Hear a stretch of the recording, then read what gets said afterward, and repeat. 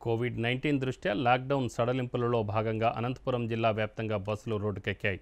దాదాపు రెండు నెలల తర్వాత అనంతపురం జిల్లాలో నూట పన్నెండు ఏపీఎస్ఆర్టీసీ సర్వీసులు నడుపునున్నారు. డిపో వద్ద ప్రయాణికులకు ఏర్పాటు చేసిన సౌకర్యాలు ఏ విధంగా ఉన్నాయి? దీనిపై అనంతపురం జిల్లా APSRTC regional manager Sumanth R అధోనితో మా అనంతపురం జిల్లా ప్రతినిధి Nagaraju face to face.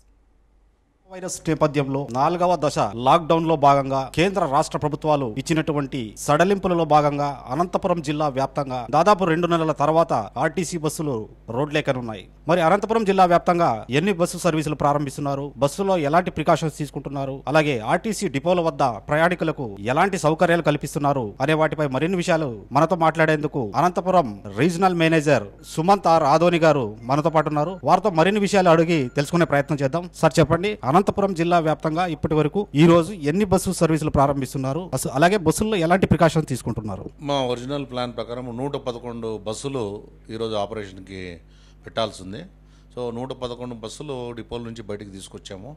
కానీ పది గంటల వరకు ఎనభై మాత్రమే ఆపరేట్ చేశాము. ఎందుకంటే ట్రాఫిక్ డిమాండ్ తక్కువ ఉండే ఏదైతే సెక్టర్స్ ఉన్నాయో అక్కడ బస్సులు ఆపి పెట్టుకున్నాము. సో నూట పదకొండులో ఎనభై. దాదాపు మా దగ్గర ఎనిమిది వందల డెబ్బై మూడు బస్సులు ఉన్నాయి. దాంట్లో ఆరు వందల డెబ్బై రెండు ఆర్టీసీ బస్సులు రెండు వందల ఒక హైర్ బస్సులు. వాటిలో నూట పదకొండు ప్లాన్ చేస్తే మనము ఇప్పటి వరకు పది గంటల వరకు ఎనభై మాత్రం ఆపరేట్ చేశాము. ఇవి ట్రాఫిక్ పెరగ పెరుగుతూ డిమాండ్ ప్రకారము అవసరం మేరకు పెంచుకుంటూ వెళ్తాము. అవసరమైతే రేపు కొన్ని సర్వీసులు పెంచుకోవడము డిమాండ్ పెరిగే కొద్దీ పెంచుకోవడం జరుగుతుంది. సో దీంట్లో విశేషాలు ఏమంటే గతంలో కోవిడ్ కంటే ముందు ఇప్పటికి చాలా భారీ మార్పులు చేయడం జరిగింది. నెంబర్ వన్ ఫస్ట్ ఏమంటే బస్సులో కండక్టర్ ఉండడండి. బస్సులో కండక్టర్ ఉండరు డ్రైవర్ మాత్రమే ఉంటారు. టికెట్లు రెండు విధాలుగా ఇవ్వడం జరుగుతుంది. ఒకటేమంటే స్పాట్లో వచ్చిన ప్యాసింజర్స్కి బస్ స్టేషన్లోనే గ్రౌండ్ బుకింగ్ అంటాం దాన్ని. సో బస్ స్టేషన్లోనే కండక్టర్లు టికెట్ ఇష్యూయింగ్ మిషన్ ద్వారా బస్ స్టేషన్లోనే ఇవ్వడం జరుగుతుంది భౌతిక దూరం పాటిస్తూ. తర్వాత ఇంకొక విధానం ఏమంటే రిజర్వేషన్ సిస్టమ్. వంద కిలోమీటర్ల కంటే ఎక్కువ దూరము రూట్ లెంగ్త్ ఉండే బస్సులకి వాటికి ఈ నూట పదకొండులో ఒక పద్నాలుగు సర్వీసులు ఓపీఆర్ఎస్ ఉన్నాయి online passenger reservation system. Online కూడా ప్యాసింజర్లు రిజర్వేషన్ తీసుకొని ట్రావెల్ చేయొచ్చు. సో ఈ రెండు విధానాలు కాకుండా మూడోది కొన్ని పదహైదు ఇంటర్మీడియట్ పాయింట్స్. దారి మధ్యలో ఉండే పదహైదు పాయింట్లు ఉదాహరణకి కొత్త బత్తలపల్లి పామిడి కొత్త చెరువు యాడికి రాయల చెరువు గోరంట్ల ఆ విధంగా పదహైదు పాయింట్లు లో మేము మా కండక్టర్స్ని పెట్టడం జరిగింది. అక్కడ కూడా గ్రౌండ్ బుకింగ్ టికెట్లు ఇవ్వడం జరుగుతుంది.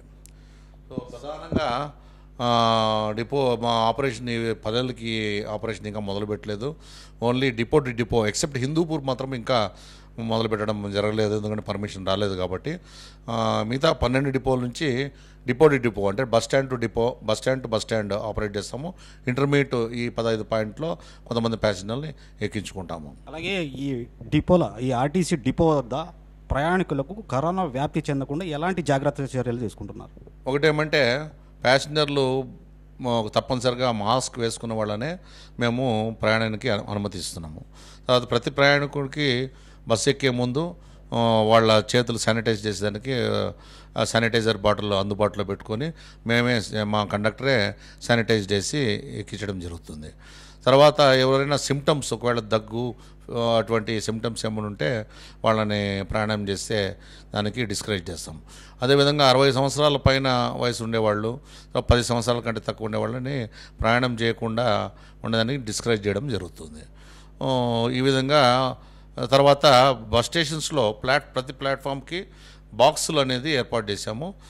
ఫ్లోరింగ్ మీద బాక్సులు లాగా తయారు చేసి ఆ క్యూ లైన్లో ప్యాసింజర్లు ఎక్కే విధంగా ఒక ఒక ప్యాసింజర్కి ఇంకో ప్యాసింజర్కి minimum three four feet distance విధంగా ఉండే విధంగా బాక్సులు ఏర్పాటు చేసి ఆ బాక్స్లో నిల్చొని వాళ్ళు one by one bus board చేయాలా మా టికెట్ తీసుకునేటప్పుడు కూడా వన్ బై వన్ వచ్చి టికెట్లు తీసుకోవాలండి. సో ఈ విధంగా జాగ్రత్తలు తీసుకోవడం జరుగుతుంది. అలాగే ఈ ప్రయాణికులకు సంబంధించి టికెట్ల విషయంలో ధరలు ఏమైనా పెరిగాయా? అలాగే టికెట్లు ఎలా అందుబాటులో ఉంటున్నాయి? టికెట్లు మేము ఫేర్ ఏం పెంచలేదు. ఇందాక చెప్పాను కదా టికెట్లు అందుబాటు అంటే రెండు విధానాలు. లేదా గ్రౌండ్ బ్రేకింగ్ లేకపోతే కొన్ని రిజర్వేషన్స్ వంద కిలోమీటర్ల కంటే ఎక్కువ ఉండే సర్వీసులకు రిజర్వేషన్ ఫెసిలిటీ కూడా ఉంది. తర్వాత ఈ స్పాట్లో కొనుక్కునే వాళ్ళకి గ్రౌండ్ బుకింగ్ ద్వారా టికెట్ కొనుక్కోవచ్చు. అలాగే చివరిగా ఈ రాయితో రాయితీతో కూడినటువంటి పాసులు అలాగే జర్నలిస్టులకు సంబంధించినటువంటి ఫ్రీ పాసులు ఉన్నాయి. మరి వాటిని ఎలా చేస్తున్నారు? అది ప్రస్తుతానికి మాకేం ఆదేశాలు లేదు కాబట్టి గతంలో ఉండే విధానం కొనసాగుతుంది. ఆదేశాలు ఏమన్నా వస్తే అప్పుడు చెప్పడం జరుగుతుంది. ఇది అనంతపురం జిల్లా పరిస్థితి. ఆర్టీ అనంతపురం ఆర్టీసీ డిపో నుండి దాదాపుగా నూట పన్నెండు బస్సు సర్వీసులు ప్రారంభించామని కేవలం డిపో టు డిపో మాత్రమే బస్సు సర్వీసులు ప్రారంభిస్తున్నామని సుమంత్ ఆర్ ఆధోని గారు స్పష్టం చేశారు. కెమెరా పర్సన్ రామాంజనేయులతో నాగరాజు స్నేహ టీవీ అనంతపురం.